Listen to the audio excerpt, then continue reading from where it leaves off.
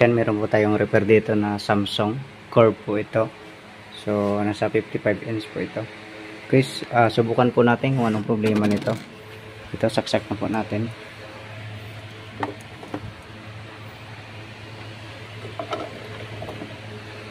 Yan.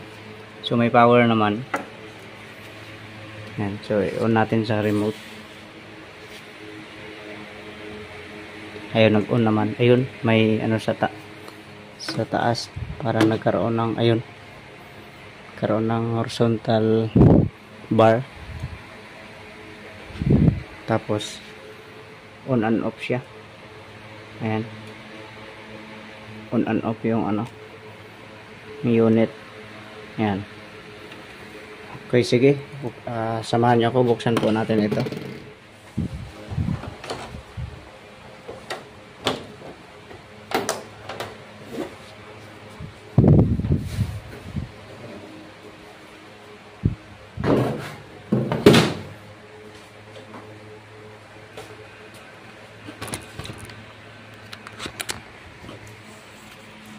Ito na ang kanyang laman. Ito po ang kanyang mainboard. Built-in na po ang kanyang T-con dito. Ito na yung kanyang power supply. So sige. Uh, mag first step muna tayo. So dahil nga Samsung ito, subukan nating uh, tanggalin itong socket niya papuntang ano, mainboard, yung wire niya. So para malaman natin kung good. Ang backlight walang problema. Kung pag saksak natin ito magkaroon ito ng ilaw ang backlight. Sige nga saksak natin. Ayun umilaw nga. Ayan o so good ang backlight nito. Yan so sa ang suspect po natin dito ay nito ay dito sa ano sa maaring dito maaring dito sa top board o di kaya ang screen na talaga. Okay sige uh, second move po tayo. So ito uh, dito tayo nagbukas ulit. Binuksan natin yung dito sa top board nya so first move po natin. Uh, palagay ko dito yung problema banda. Kasi ano parang maano na dito. Parang daan ng sunog. Parang may lamat. Okay una natin gagawin tanggalin natin itong ano isang ribbon na to. Um, tapos testing natin. Okay testing natin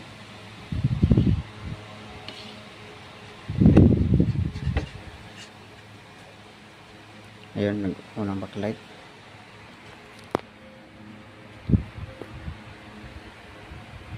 Mamatay pa rin.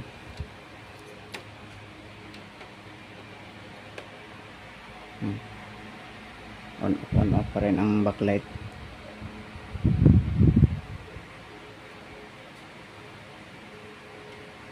Yan ganun pa rin ang nangyayari sige ah uh, dito naman tayo sa kabila. Tanggalin muna natin. Ito tanggalin naman natin ito. Dalawa na muna ang ano natin. Tanggalin. Sige saksak. Okay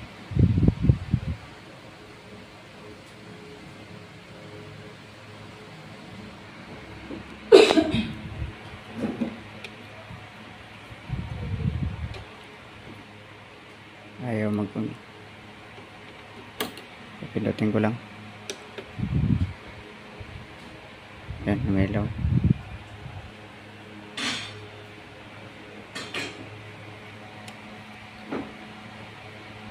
ganun pa rin. Baklas na po yan yung dalawa.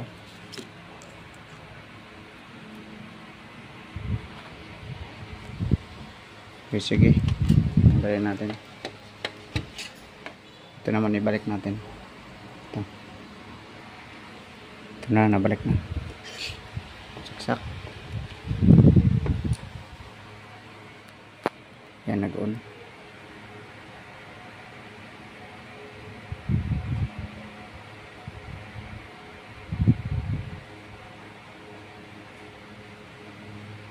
Ganun pa rin, patay sindi.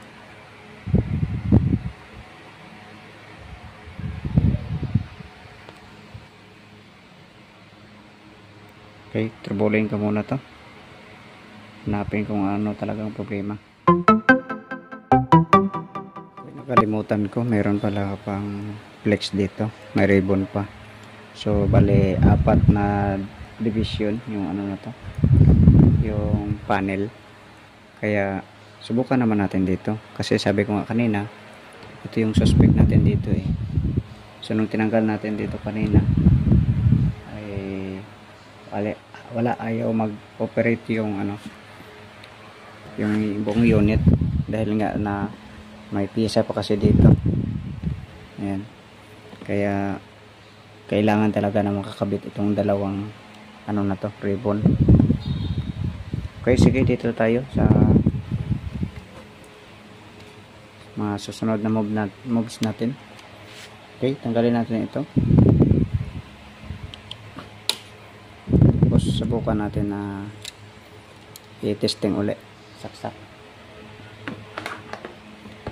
So sana ay maayos natin to. So dito tayo mag ano tanggal.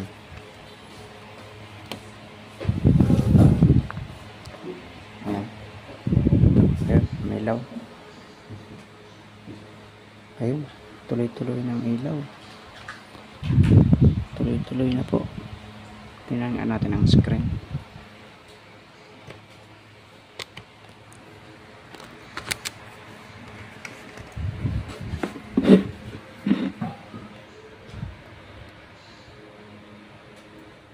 Ayun.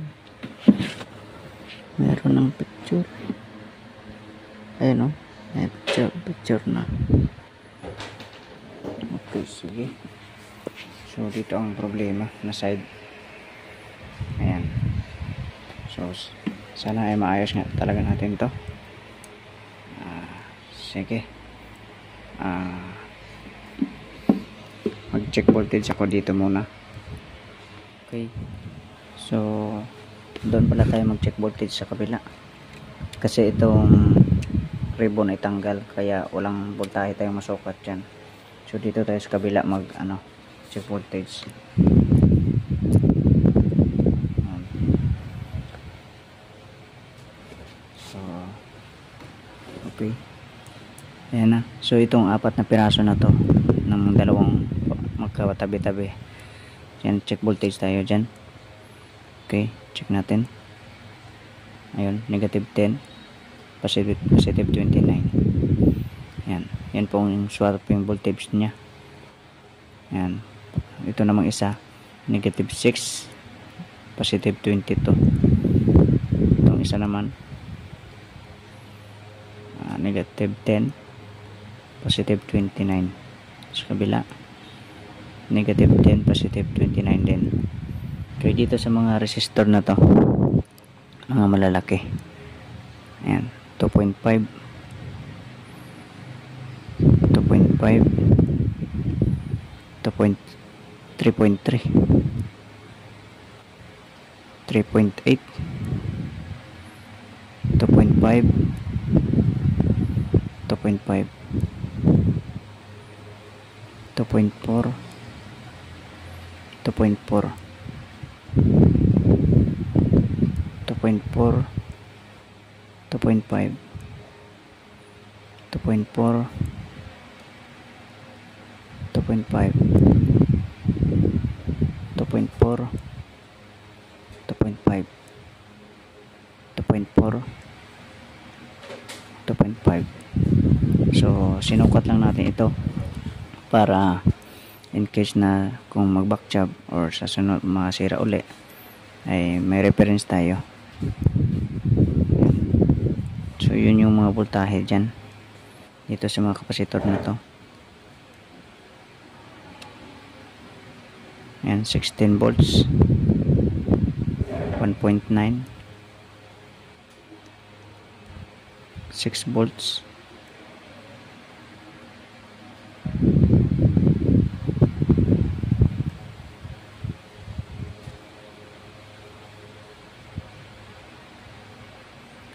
8.2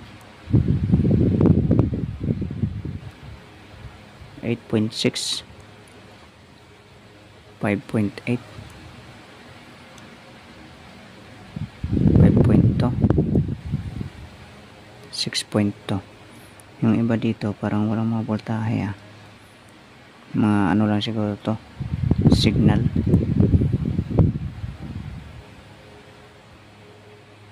yan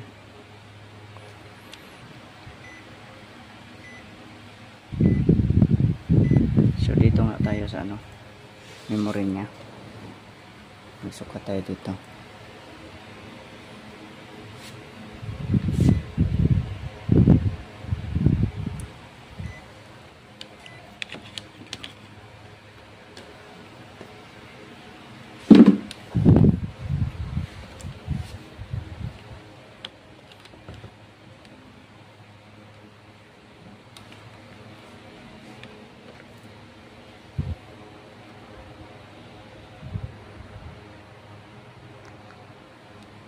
Okay, sa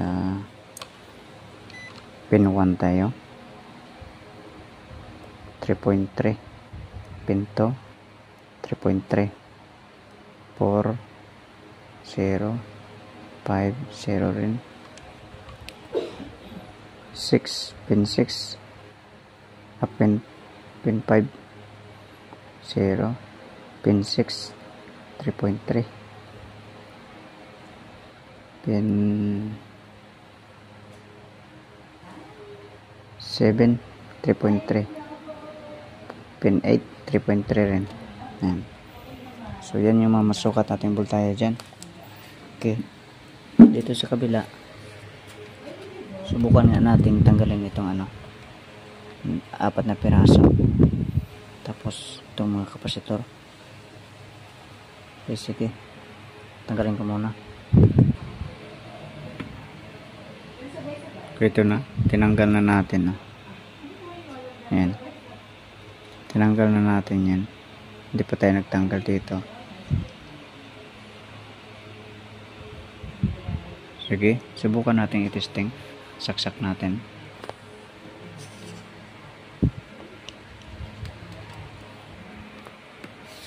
Yan.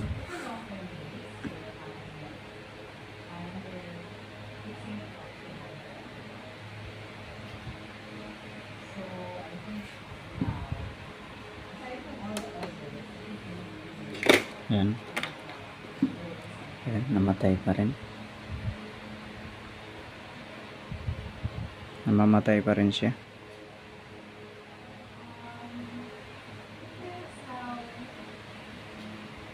Namamatay pa rin. Yan o. Namamatay. Namamatay pa rin yung ilaw. Backlight. So, ibig sabihin nag-on off pa rin siya. Poprotect. Okay, sige. Subukan nga natin magtanggalin itong ano. Itong mga resistor na to. HC1 hanggang uh, HCH.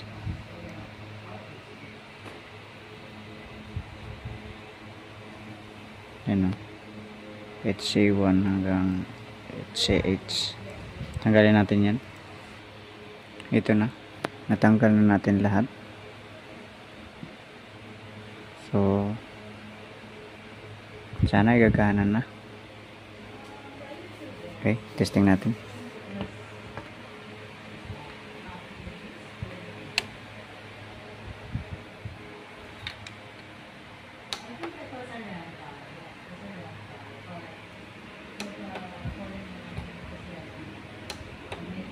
Yan may ilaw. Namatay. Pagbalik sana tuloy-tuloy na yan ay namatay pa rin yan o namamatay pa rin siya. Ayaw tumuloy. Hard trouble ito. Namamatay o ang ilaw.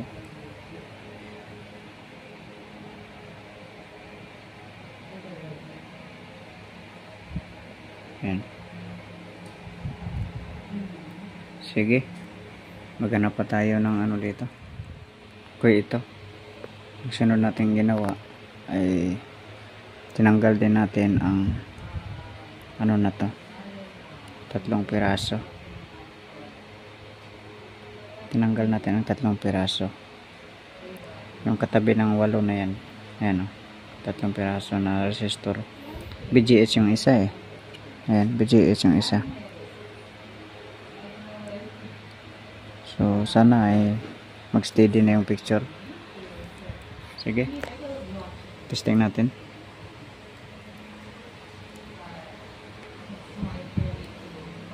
Ayan.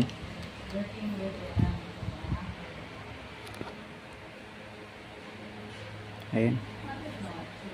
Nag steady na. Ang ilaw. Ayan. Tingnan natin sa baba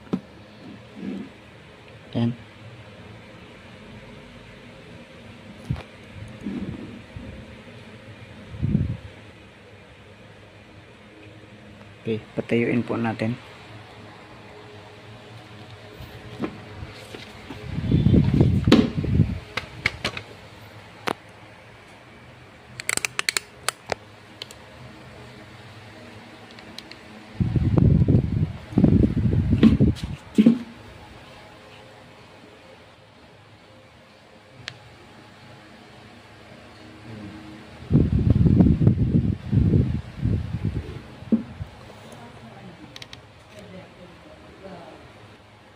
Kaya lang meron pa siyang problema. Nagpipress siya.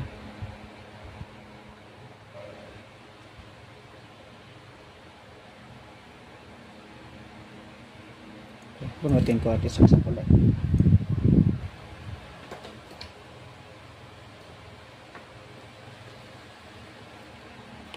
Yan, smart TV.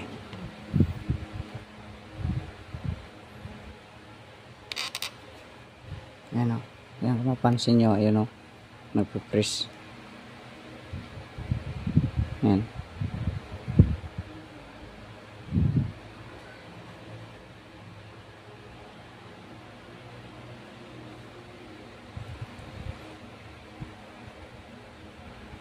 Hindi nyo kasi makita dyan eh.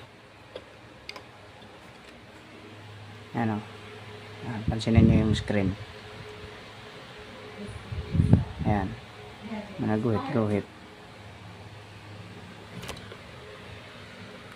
Ayan. Yan. Yan. May guhit-guhit. Sana napansin nyo. Yan o. Yan. Ito, nawala. Ayan, meron. So, meron pa siyang problema. Okay. Susunod natin gagawin.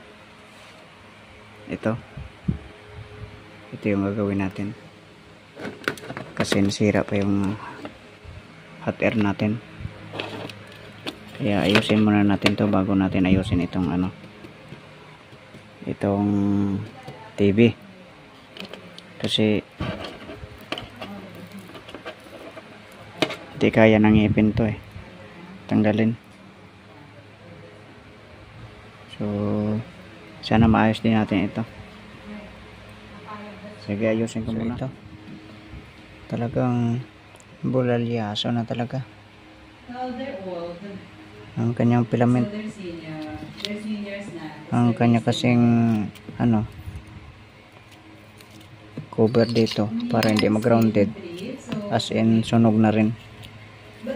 Kaya it's tsaga na lang tayo sa soldering iron magtanggal dito. Ito, tinanggal muna natin yung ah, front frame niya. So dito tayo mag ano maghanap ng mga sunog.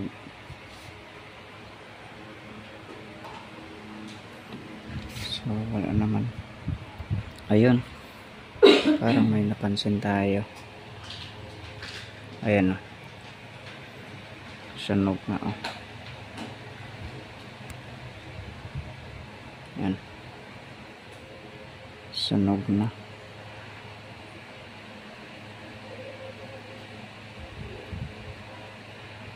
So, kiskisin natin yan. Sana ay maulian pa ito ma balik pa sa dati. Sige. Kuskusin ko muna to. Ito na siya hanggang ano lang pala yun. Umiinit yan dito sa loob.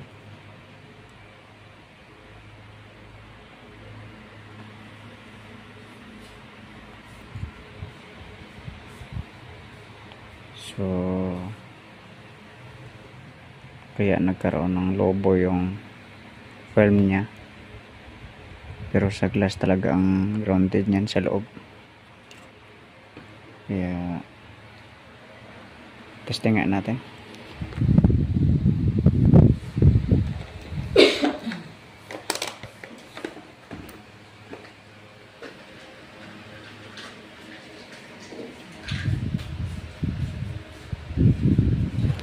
Ganun pa rin. oh.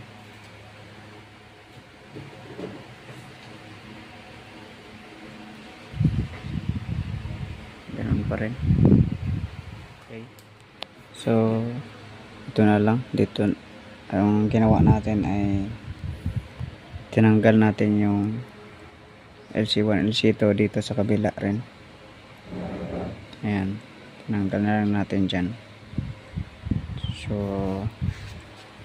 hanggang dito pati sa kabila tinanggal din natin kasi dito talaga yung trouble kanina eh so pag pinatihaya natin ang TV nasa kaliwa na yung problema. Pero pag taob natin dito na sa kanan. So ito kanina. Dito yung may sunog kanina. Kaya sana eh mawala na yung pressing nya nagpipress po kasi ang picture eh. Or parang ano siya parang break pala, parang nagpe-flicker. Parang flickering yung kanina eh. Pero malapit lang paharos magkapares lang sila sa ano sa pressing okay sige testing na natin to um, testing na natin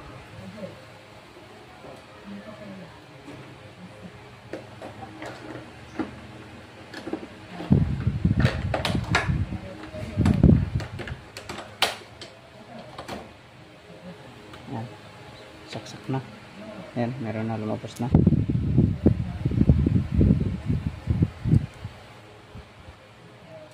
Yan.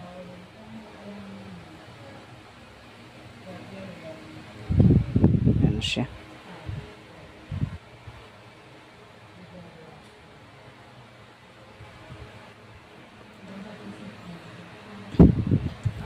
Parang hindi na siya nag ano,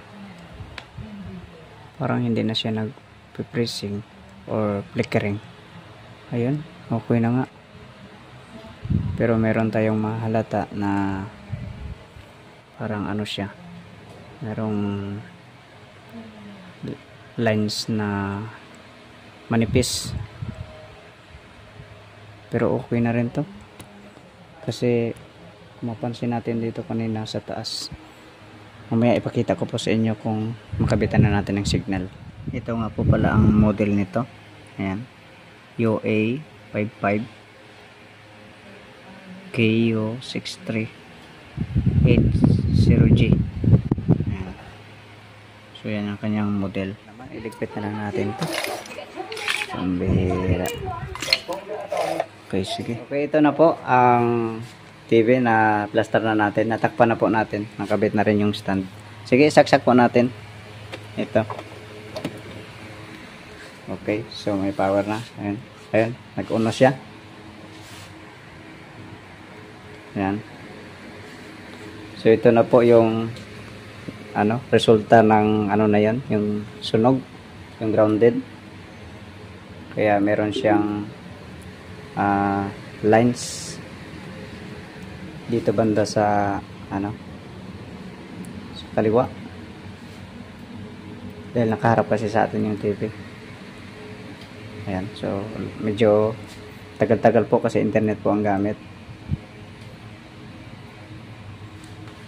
Kaya antayin-antayin lang natin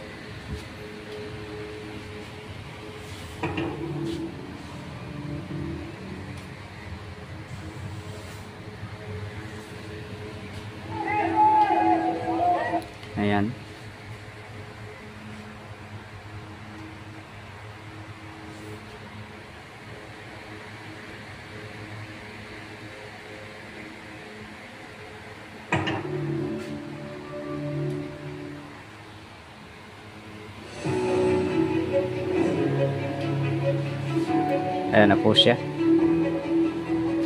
So, kung mapansin natin dito sa naging grounded niya, ayan, may mga lines siya. Kasi, kinat po natin lahat ng signal dito.